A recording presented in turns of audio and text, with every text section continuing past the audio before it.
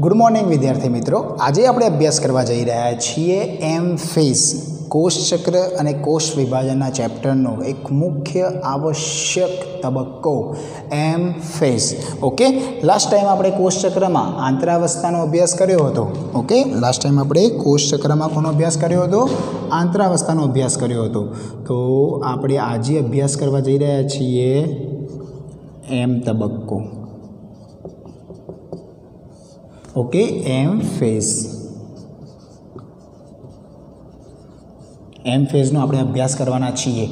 તો આપણે જાણીએ છીએ કે એમ ફેઝને બીજા કયા નામથી ઓળખવામાં આવે છે? તો વિભાજનના તબક્કા તરીકે પણ ઓળખવામાં આવે છે. કારણ કે જે આઈ ફેઝ હતો, આંતરાવસ્થા હતી, કોષચક્રમાં બે અવસ્થા હતી, આંતરાવસ્થા અને એમ ફેઝ એમાં આંતરાવસ્થામાં શું થયું? તો આંતરાવસ્થામાં જૈનિક દ્રવ્ય અને કોષીય દ્રવ્ય બેવડાયા.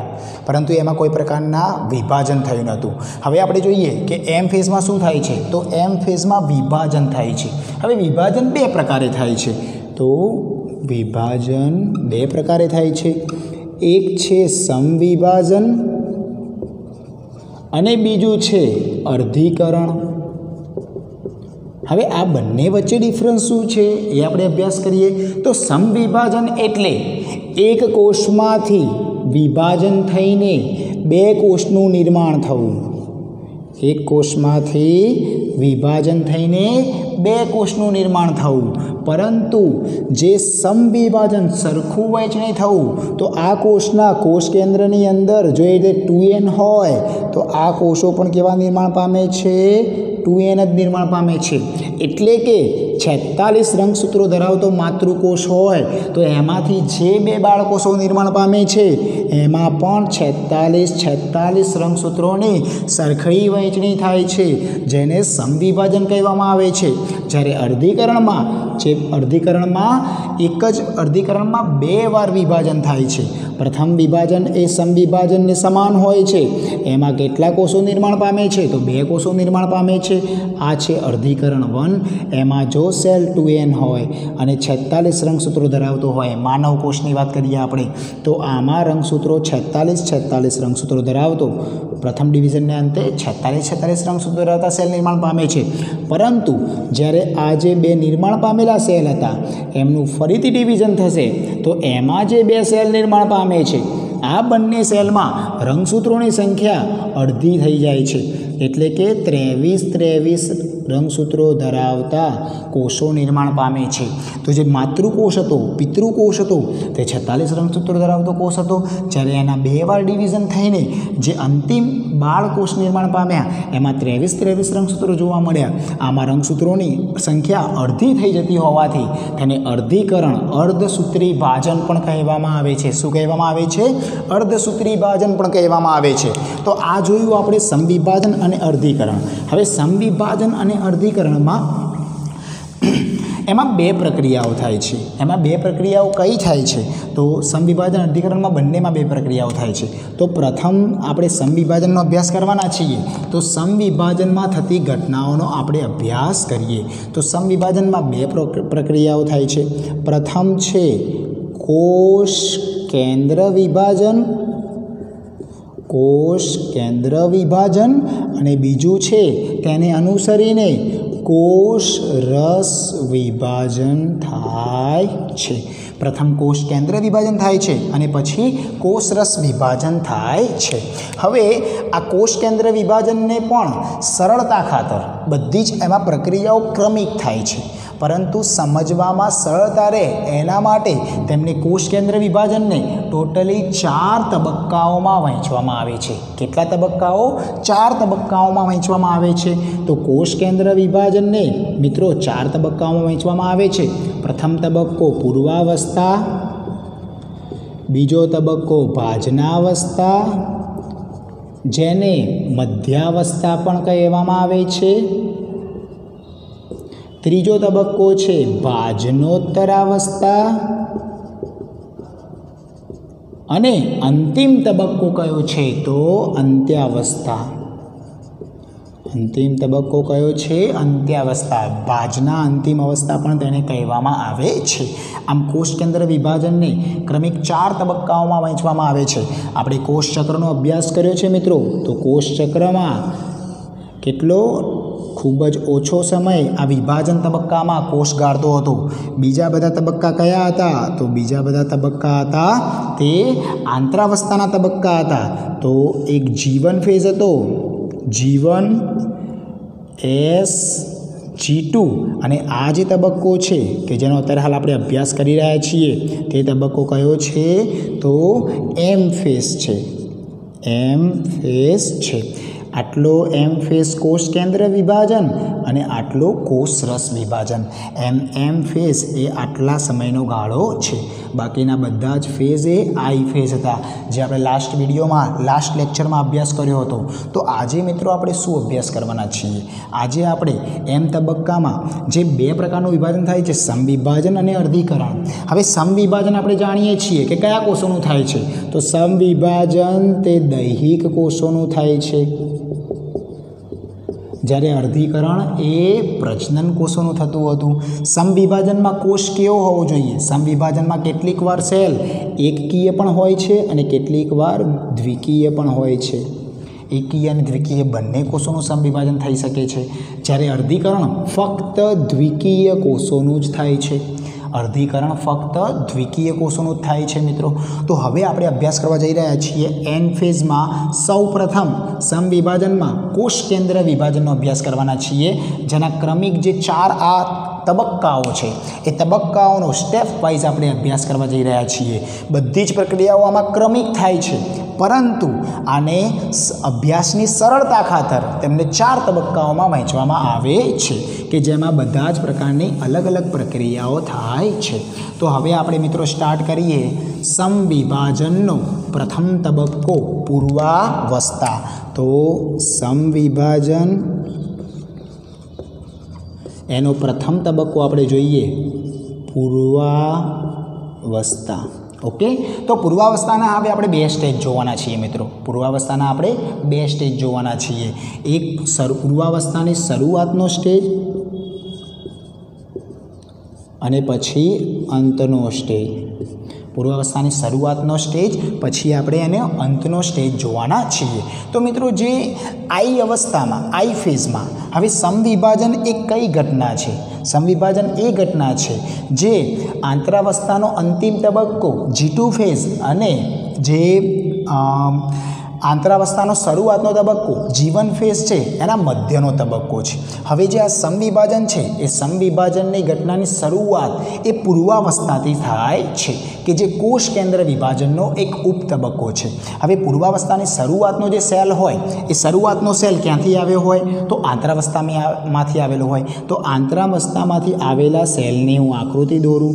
તો એમાં આ આપણે દર્શાવ્યું કોષ કેન્દ્ર પટલ, એમાં આપણે આ દર્શાવ્યું આ કોષ કેન્દ્ર પટલ, એની ફરતે દર્શાવ્યું કોષ રસ પટલ. આ જે એની અંદર રહેલો કોષ રસ છે, આ શરૂઆતનો સ્ટેજ છે. એમાં એક ઘટ્ટ કોષ કેન્દ્રિકા આવેલી હોય છે કોષ કેન્દ્ર પટલની અંદર. અને રંગસૂત્ર આપણે જાણીએ છીએ. કયા સ્વરૂપે આવેલું હોય છે? રંગસૂત્રીય દ્રવ્ય સ્વરૂપે આવેલું હોય છે. રંગસૂત્ર કયા સ્વરૂપે આવેલું હોય છે? રંગસૂત્રીય દ્રવ્ય સ્વરૂપે આવેલું હોય છે. બીજી અંગિકાઓમાં ગોલગી પ્રસાધન અંતકોષ રસજાળ એ બધી પ્રેઝન્ટ હોય છે. જ્યારે સેલ આઈ ફેઝમાંથી એ સમવિભાજનની પ્રથમ અવસ્થા, પૂર્વાવસ્થાની શરૂઆતમાં પ્રવેશે છે ત્યારે. હવે આપણે જોઈએ કે પૂર્વાવસ્થામાં કઈ પ્રક્રિયાઓ થાય છે. તો પૂર્વાવસ્થામાં ત્રણ સ્ટેપમાં પ્રક્રિયાઓ થાય છે. પ્રથમ પ્રક્રિયા કઈ થાય છે? તો રંગસૂત્ર દ્રવ્યનું ઘનીકરણ થાય છે. પ્રથમ સ્ટેપમાં રંગસૂત્રીય દ્રવ્યનું ઘનીકરણ થાય છે. બીજા સ્ટેપમાં શું થાય છે? બીજા સ્ટેપમાં થાય છે સમવિભાજનીય પ્રસાધનનું નિર્માણ થાય છે. સમવિભાજનીય પ્રસાધનનું નિર્માણ થાય છે. આ બીજા નંબરનો સ્ટેપને છે. અને અંતિમ સ્ટેપમાં શું થાય છે?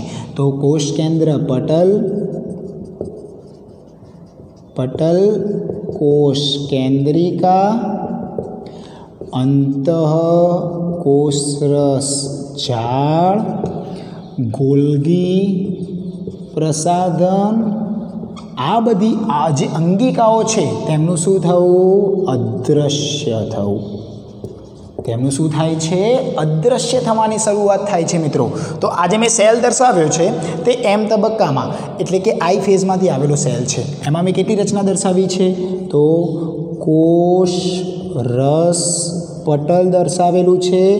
અંદરની તરફ કોષ, રસ દર્શાવેલો છે. એની અંદરની તરફ કોષ, કેન્દ્ર, પટલ દર્શાવેલું છે. પછી એની અંદરની તરફ કો રંગસૂત્ર દ્રવ્ય દર્શાવેલું છે, રંગસૂત્રીય દ્રવ્ય દર્શાવેલું છે. અને કોષ કેન્દ્ર પટલની અંદરની તરફ એક ગાટા ડોટ સ્વરૂપે રંગસૂત્રિકા, એટલે કે કોષ કેન્દ્ર સોરી રંગસૂત્રિકા નહીં કોષ કેન્દ્રિકા દર્શાવેલી છે. આટલી રચના આપણે દર્શાવેલી છે. આ શરૂઆતનો ભાગ હતો. હવે આ સેલ એ પૂર્વાવસ્થાના અંત સુધીમાં, આ પૂર્વાવસ્થાની શરૂઆત હતી. આમાં શરૂઆતની પ્રક્રિયામાં શું થાય છે? રંગસૂત્રીય દ્રવ્યનું ઘનીકરણ થાય છે. હવે રંગસૂત્રીય દ્રવ્ય સ્વરૂપે હતા. એ કન્ડેન્સ દ્રવ્ય સ્વરૂપે હતા. એનું ઘનીકરણ થવું એટલે કે એમનું રંગસૂત્રોમાં ફેરવાવું. એનું ઘનીકરણ થવું એટલે શું? રંગસૂત્રોમાં ફેરવાવું કે જે એક સેન્ટ્રોમિયર અને બે એકલ સૂત્રો ધરાવતા હોય. એટલે કે એક સેન્ટ્રોમિયર ધરાવે.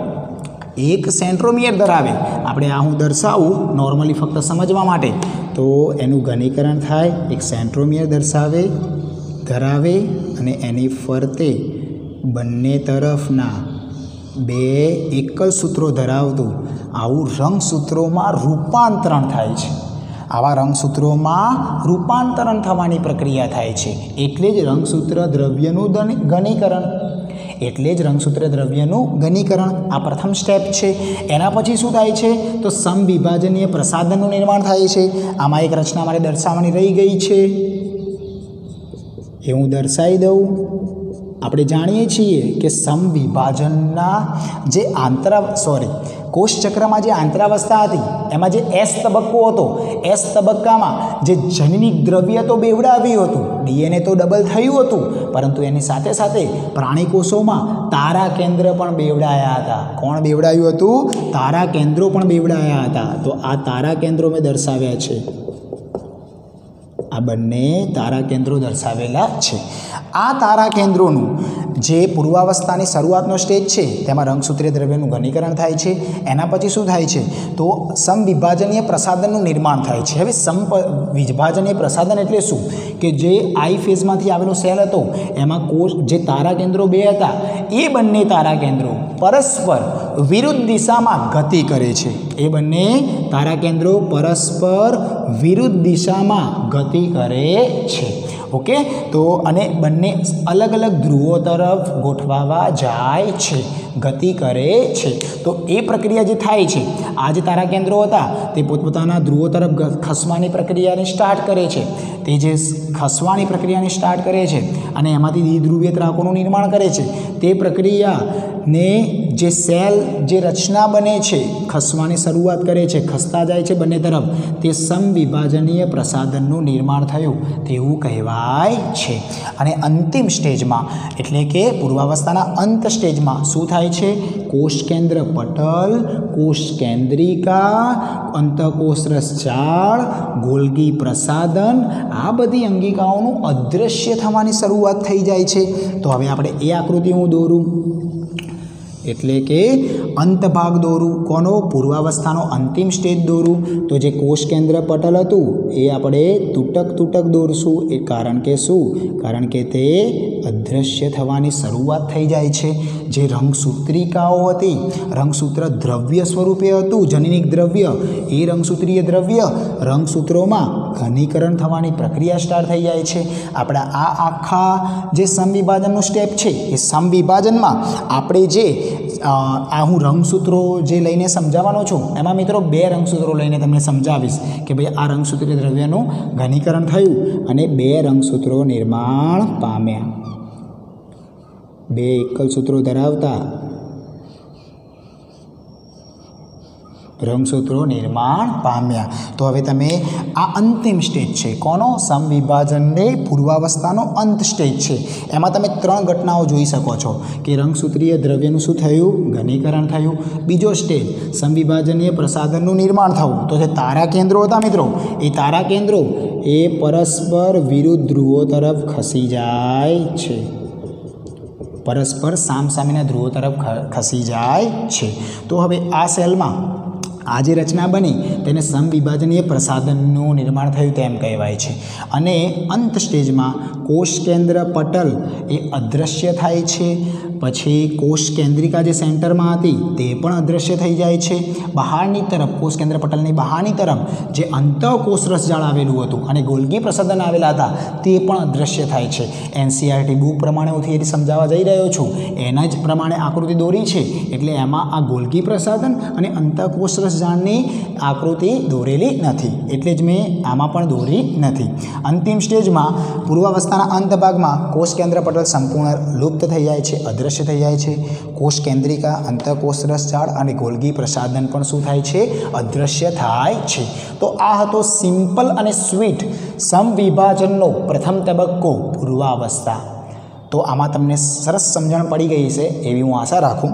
હવે આપણે સમવિભાજનના બીજા અવસ્થા તરફ જઈ રહ્યા છીએ. જેનું નામ શું છે? તો ભાજનાવસ્થા તો હવે ભાજનાવસ્થાની આપણે વિશેષતાઓનો અભ્યાસ કરીશું અને ભાજનાવસ્થાને આપણે સ્ટેજનો સંપૂર્ણ અભ્યાસ કરીશું. તો ચલો સેકન્ડ નંબરનું સ્ટેપ આપણે જોઈ રહ્યા છીએ. જેનું નામ છે ભાજનાવસ્થા જેને બે નામથી ઓળખવામાં આવે છે. મધ્યાવસ્થા પણ તરીકે કહેવામાં આવે છે. ભાજના અવસ્થા જેને મધ્યાવસ્થા પણ કહેવામાં આવે છે. તો હવે જે કોષ કેન્દ્ર પટલ લુપ્ત થઈ ગયું, કઈ અવસ્થામાં? પૂર્વાવસ્થાના અંતિમ સ્ટેજમાં. આ બીજા નંબરનું સ્ટેપ છે. આમાં પણ આપણે બે સ્ટેજ જોવાના છીએ મિત્રો. આમાં કયા બે સ્ટેજ જોવાના છીએ? તો ભાજનાવસ્થાની શરૂઆત અને અંત ભાગ આમ બે સ્ટેજ જોવાના છીએ. તો શરૂઆતમાં જે આપણને સેલ પ્રાપ્ત થાય છે, શરૂઆતમાં આપણને જે કોષ પ્રાપ્ત થાય છે, એમાં હવે આ કોષ કેન્દ્ર પટલ તો અદૃશ્ય થઈ ગયું. તો આપણે હવે એ દોરીશું નહીં. તો રંગસૂત્ર જે હતા, રંગસૂત્ર આપણે બે રંગસૂત્રને લઈને આખી થિયરી સમજવાની છે. તો રંગસૂત્ર શું થશે? રંગસૂત્ર એ સમગ્ર કોષમાં ફરતા થઈ જશે. સમગ્ર કોષમાં તે, બહારના કોષરસમાં તે ફરતા થઈ જાય છે. બાકીનું શું આવેલું હોય છે? બાકીનો કોષરસ આવેલો હોય છે. અને બે તારા કેન્દ્રો પરસ્પર વિરુદ્ધ ધ્રુવો તરફ ગોઠવાયેલા જોવા મળે છે. આ વિરુદ્ધ ધ્રુવો તરફ ગોઠવાયેલા જોવા મળે છે ભાજનાવસ્થાની શરૂઆતના સ્ટેજમાં. હવે ભાજનાવસ્થામાં શું પ્રોસેસ થાય છે? તો ભાજનાવસ્થામાં જ્યાં તારા કેન્દ્રો હતા તારા કેન્દ્ર અને આ રંગસૂત્ર. હવે ભાજનાવસ્થામાં કયા સ્ટેપ થાય છે એ જોઈએ આપણે. તો સૌ પ્રથમ શું થશે? તારા કેન્દ્રમાંથી દ્વિધ્રુવીય ત્રાકનું નિર્માણ.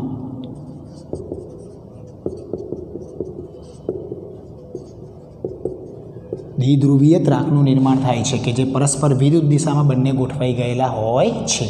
આ દ્વિધ્રુવીય ત્રાકનું નિર્માણ થયા પછી દ્વિધ્રુવીય ત્રાક જે હતા સૂક્ષ્મ નલિકાઓ હતી. તે રંગસૂત્રના સૂત્રમાં કાઇનેટોકોર સાથે જોડાણ કરે છે. આ બીજી વિશેષતા છે. રંગ તારા કેન્દ્રમાંથી દ્વિધ્રુવીય ત્રાકનું નિર્માણ થાય અને દ્વિધ્રુવીય ત્રાકનું નિર્માણ થઈને રંગસૂત્રમાં કાઇનેટોકોર્સની ચર્ચા કરીએ સૌપ્રથમ તો. તો જે રંગસૂત્ર હતા મિત્રો, જે રંગસૂત્ર હોય એમાં સેન્ટ્રોમિયર કાઇનેટોકોર્સની ચર્ચા કરું, તો આ જે સેન્ટ્રોમિયર હતું. એ સેન્ટ્રોમિયર ઉપર એક બિંબ જેવી તકતી આવેલી હોય છે. શું આવેલું હોય છે? એક બિંબ જેવી તકતી આવેલી હોય છે. કે જેને શું કહેવામાં આવે છે? કાઇનેટોકોર્સ કહેવામાં આવે છે. એ આપણે લાસ્ટ થિયરીમાં અભ્યાસ કર્યો હતો કોર્સના અભ્યાસ કર્યો હતો. જેને શું કહેવામાં આવે છે? કાઇનેટોકોર્સ કહેવામાં આવે છે. આ જે કાઇનેટોકોર્સ હતા, એ કાઇનેટોકોર્સની કાર્ય શું છે? તો તારા કેન્દ્રમાંથી જે સૂક્ષ્મ નલિકાઓ નિર્માણ પામે છે, આ સૂક્ષ્મ નલિકાઓને એને રંગસૂત્ર સાથેનું જોડાવવાનું સ્થાન પૂરું પાડે છે. શું પૂરું પાડે છે? રંગસૂત્રનું જોડાવવાનું સ્થાન પૂરું પાડે છે. તો જ્યાં તારા કેન્દ્ર હતા, એ તારા કેન્દ્રમાંથી શું નિર્માણ પામ્યું? દ્વિધ્રુવીયતા સૂક્ષ્મ નલિકાઓ નિર્માણ પામી. આ સૂક્ષ્મ નલિકાઓ એ કોની સાથે જોડાય છે? કાઇનેટકોર સાથે જોડાય છે. કાઇનેટકોર એટલે કે સેન્ટ્રોમિયર ઉપર આવેલી તકતી. સેન્ટ્રોમિયર ઉપર આવેલી એક બિંબ જેવી તકતી કે જે સૂક્ષ્મ નલિકાઓને જોડાવા માટેનું સ્થાન પૂરું પાડે છે. તો આ હતી ભાજનાવસ્થાની શરૂઆતની પ્રક્રિયા. આ હતી ભાજનાવસ્થાની શરૂઆતની પ્રક્રિયા. રંગસૂત્રમાં કાઇનેટોકોર સાથે જોડાય છે. કોણ? દ્વિધ્રુવીય ત્રાક એટલે કે સૂક્ષ્મ નલિકાઓ, કે જે ક્યાંથી નિર્માણ પામી હતી? તારા કેન્દ્રમાંથી નિર્માણ પામી હતી. હવે નેક્સ્ટ સ્ટેપમાં પ્રક્રિયા શું થાય છે? તો નેક્સ્ટ સ્ટેપમાં પ્રક્રિયા એ થાય છે કે જે તારા કેન્દ્રમાંથી નીકળેલી દ્વિધ્રુવીય ત્રાક હતા. કે જે કાઇનેટોકોર સાથે જોડાયેલા હતા, તે શું કાર્ય કરે છે? તો આ તારા કેન્દ્રમાંથી નીકળેલા દ્વિધ્રુવેતરા સૂક્ષ્મલિકાઓ આ જે રંગસૂત્રો છે, એ અસ્તવ્યસ્ત હોય, કોષરસમાં અસ્તવ્યસ્ત હોય. તેમને મધ્યાવસ્થા પટ્ટિકા ઉપર ગોઠવવાનું કાર્ય કરે છે. તેમને શું કાર્ય કરે છે? તો મધ્યાવસ્થા પટ્ટિકા ઉપર ગોઠવવાનું કાર્ય કરે છે. તો જે રંગસૂત્રો હતા, એ રંગસૂત્રો ક્યાં આવી ગયા? તો રંગસૂત્રો રંગસૂત્રો ક્યાં આવી ગયા? તો રંગસૂત્રો એ ક્યાં આવી ગયા? તો મધ્ય ભાગમાં આવી ગયા. મધ્ય ભાગમાં એટલે કે આ સેન્ટર ભાગમાં ગોઠવાઈ જાય છે. ક્યાં ગોઠવાઈ જાય છે? સેન્ટર ભાગમાં ગોઠવાઈ જાય છે. કોણ ગોઠવે છે? તો તારા કેન્દ્રો તેમાંથી નીકળેલા દ્વિધ્રુવીય ત્રાક તેમને ગોઠવે છે. તો આ સેન્ટર ભાગમાં ગોઠવી કાઢ્યા. બાકીના ભાગમાં કોષ રસ્તો આવેલો જ હોય છે. બાકીના ભાગમાં કોષ રસ્તો આવેલો હોય છે. તો જે આ મધ્ય ભાગમાં, એટલે કે ભાજન તલ થયું આવ્યું વિભાજન પામવાનું તલ થયું. તેની સાથે તે બાઇન્ડ કરે છે. તેની સાથે તે મધ્ય ભાગમાં રંગસૂત્રોને ગોઠવી કાઢે છે. અને આ જે અંત ભાગ છે, રંગસૂત્રમાં કાઇન્ડકોડ સાથે જોડાય છે અને અંતિમ સ્ટેજમાં રંગસૂત્રોને સૂત્રોને મધ્યાવસ્થા પટ્ટિકા અથવા તો ભાજન તલ પર ગોઠવે છે. એટલે કે મધ્ય ભાગમાં લાવી દે છે. તો આ સ્ટેજ હતો ભાજનાવસ્થા. હવે ભાજનાવસ્થાની મુખ્ય વિશેષતાની વાત કરીએ આપણે કે જે નેટમાં પણ ક્વેશ્ચન પૂછાઈ શકે તેવો છે. કે જે આપણે અભ્યાસ કર્યો હતો કે રંગસૂત્રના કેટલા પ્રકાર છે, એમના બંધારણને આધારે, લંબાઈને આધારે, એમની ભુજાઓની ચાર પ્રકાર છે. મેટાસેન્ટ્રિક સબમેટાસેન્ટ્રિક એક્રોસેન્ટ્રિક અને ટીલોસેન્ટ્રિક આ ચાર પ્રકાર હતા. હવે જ્યારે પણ કોઈ સાયન્ટિસ્ટ અથવા તો કોઈ સ્ટુડન્ટ ને માઇક્રોસ્કોપમાં આ જે બધી સમવિભાજનની પ્રક્રિયાઓ છે, એમાં જો કોષનો અભ્યાસ કરવો હોય, રંગસૂત્રોની ગોઠવણીનો અભ્યાસ કરવો હોય, રંગસૂત્રોની રચનાનો અભ્યાસ કરવો હોય, ત્યારે જે ચાર સ્ટેજ છે સમવિભાજનના પૂર્વાવસ્થા, ભાજનાવસ્થા ભાજનોત્તરાવસ્થા અને અંત્યાવસ્થા, આ ચાર સ્ટેજમાંથી જે ભાજનાવસ્થા છે, એ ભાજનાવસ્થા સિલેક્ટ કરવામાં આવે છે, અભ્યાસમાં લેવામાં આવે છે. શાના માટે કે રંગસૂત્રનું બંધારણ કેવું છે તે જાણવા માટે. કારણ કે રંગસૂત્રો આમાં સ્પષ્ટ જોવા મળે છે. રંગસૂત્રો આમાં સ્પષ્ટ જોવા મળે છે. તો ભાજનાવસ્થા એ સ્ટડી ફેઝ છે. એટલે કે રંગસૂત્રોના અભ્યાસ માટે, કોષના અભ્યાસ માટેનો એક આવશ્યક તબક્કો છે કે જેમાં કોષનો તમે સરસ રીતે અભ્યાસ કરી શકો છો. અને આ રંગસૂત્રો જે મધ્યાવસ્થા પટ્ટિકા ઉપર ગોઠવાયેલા જોવા મળે, તો એનો મતલબ કે તેના પરથી નિર્ધારિત કરવામાં આવે છે કે જે સેલ છે તે કયા સ્ટેજમાં છે? ભાજનાવસ્થામાં છે. ઓકે? તો સૌ પ્રથમ આપણે પૂર્વાવસ્થા જોઈ, હવે બીજા નંબરે આપણે ભાજનાવસ્થા જોઈ. હવે એનો ત્રીજો પ્રકાર જોઈએ આપણે ભાજનોત્તરાવસ્થા